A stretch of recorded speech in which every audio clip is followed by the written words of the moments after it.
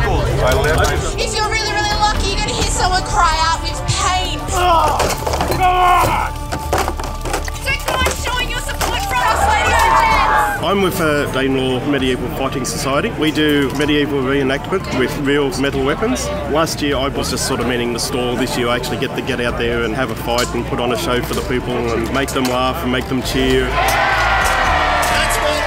Ladies and gentlemen, this is Danelaw Medieval Fighting Society.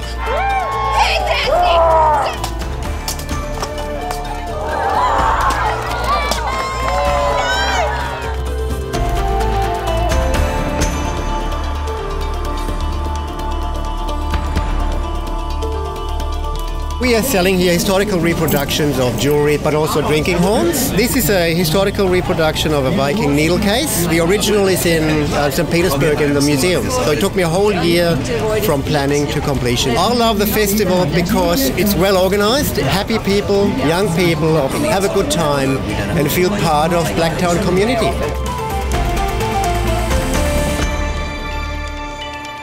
I'm what I call custom bowyer. There's two of us in Australia. The bows are made out of synthetic materials to look like and handle like traditional wooden bows. They actually do work. These are not decorations. I make these all by hand. The market is friendly. I enjoy meeting people in the streets and passing on my knowledge.